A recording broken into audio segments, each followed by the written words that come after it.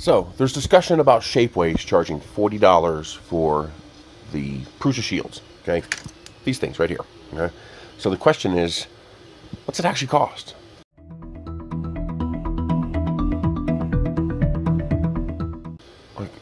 Does it actually cost them $40 to make each shield?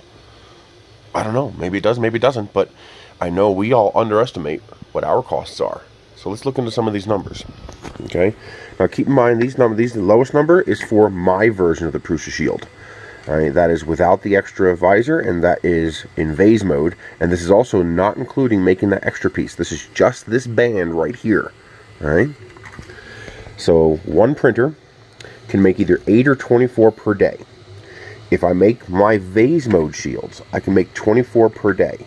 But if my destination, my customer requires Prusa spec shields, meaning the ones that have actually been tested, I can only make about eight per day. Okay? Now, machine time, this is for a printer like this. You know, three or four hundred dollar printer plus labor to build that printer. You're looking at about 500 bucks on average. Figure you're going to get 2,000 hours out of that machine. That is 25 cents per hour that that machine costs you. So that's $6 per day. Double that to $12 per day if you're using a Prusa because Prusas cost twice as much and they take twice as long to assemble. So you're looking at about $1,000 in cost um, for 2,000 hours worth of lifespan. So you're looking at um, $12 per day instead of 6 or um, 50 cents per hour.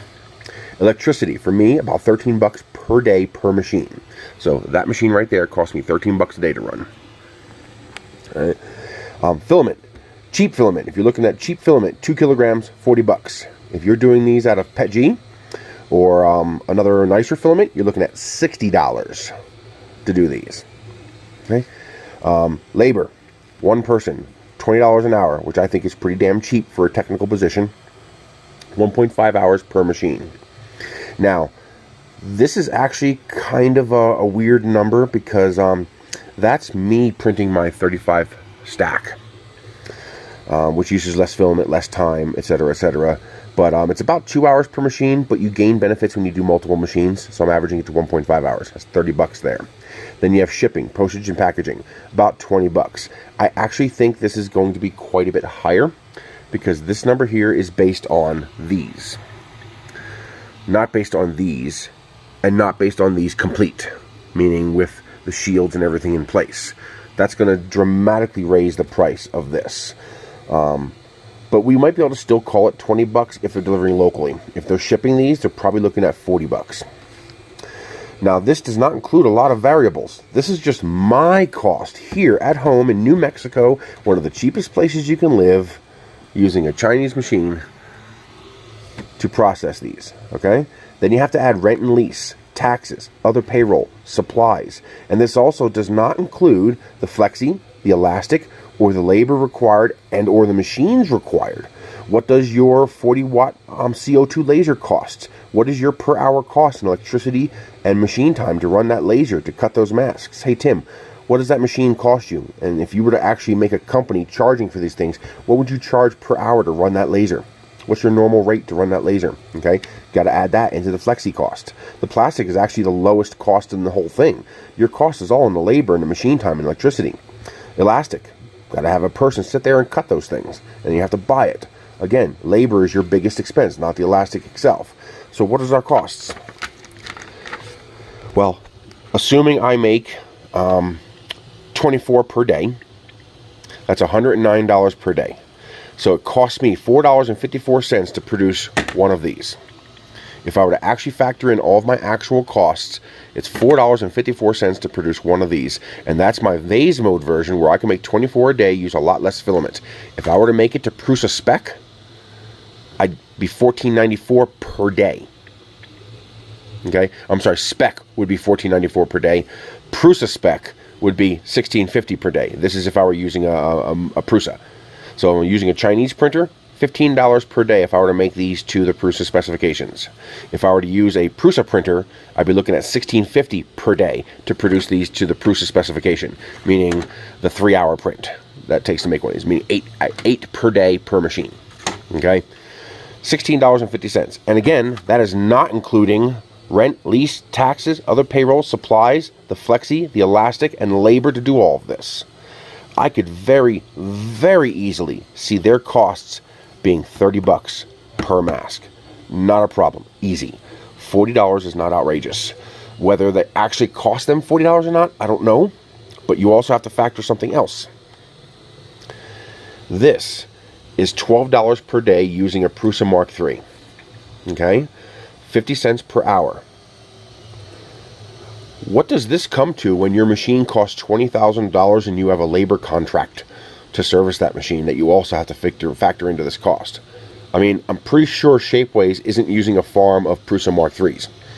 I'm pretty sure they're using like Stratasys machines and stuff like that.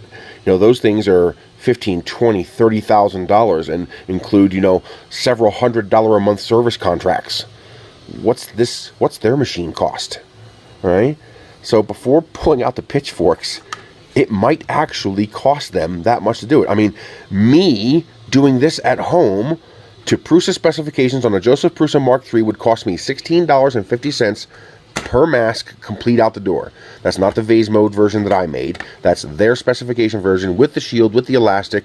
Oh, and that does not include the little extra piece on the bottom. So you're probably going to add 25 cents per mask to do that. Okay, plus labor. Um, so yeah, I mean, 30, 40 bucks per out of a, a company that actually has bills and has to pay people, not entirely unreasonable. That's one of the reasons why I'm making this version.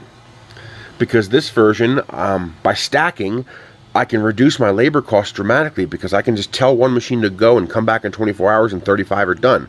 But it's going to take me a half an hour to separate all of those and package them up. So I have to add that into the value as well. And also, I'm shipping these off to Tim Hooligan, where he is going to take care of the elastic if necessary and the um, the flexi part, which I don't have the means, money or otherwise, to take care of. All right. So before comparing your costs, well, first, actually figure out your costs all of it. Actually, genuinely figure out your costs. I don't have to add labor to this. I can donate my labor because it's me giving the labor. I can do that. Shapeways can't. They have to pay those people. They can't say, hey, this work is going to a hospital, so you're not getting paid today. they can't do that. How many employees do they have? How much time do they have to spend per day per machine? And how many masks does that machine make per day? Well, until we know all that, I'd prefer not to go trying to burn them like a witch, you know? Let's let's find out first. I think a lot of you would be surprised how much value you are actually donating to this effort. And I applaud that. I am. I'm doing it. I don't care. Uh, I'm not factoring this, but it's not costing me zero. I mean, I have to pay that $13 per machine. I have to maintain these machines and build them, okay? I have to buy this filament. I mean, I, I don't have to buy the filament now because I got 700 rolls out in my trailer. But, you know, I paid for all that filament. That wasn't sent to me for free. okay? I got to pay this shipping. Right? That's going to be substantial. The only one of these values that I can actually erase as irrelevant is labor. Because I can donate my labor. They can't. So now does that does that mean I'm siding with Shapeways? No. Does that mean I think $40 is a fair price? I don't know. And that's what your answer should be. I don't know. Let's find out. if that price is too high, then you pull out the pitchforks and you hold their ass to the fire. Okay? Because they should be bringing their costs as close to zero as possible. They shouldn't lose money. They should be able to break even. But they also really, well, okay, there's nothing wrong with them profiting, but in this environment, I would say it's justified to expect them to forego profit to do it at cost. I just think a lot of you massively underestimate what their costs are. Do this math for yourself. You know, do your math for your machine, okay, your electricity, your filament, your labor, your shipping, all right? If you're a business, how do these other values factor into your price? Have you ever actually sat down and figured it out? A lot of people don't. It's a lot of numbers. You just, you know, as long as you come out positive, you're happy, you're good when you're a small operation like I am. And then actually figure out what your per piece cost is. I think you might be surprised. So, Shapeways, how about chiming in here? Give us a breakdown of what your costs are. What does it actually cost you to make one of these things? You know, give us some numbers here. I mean, you don't have to. You could ignore us, but I think it would be good for um, good PR toward the community if you did.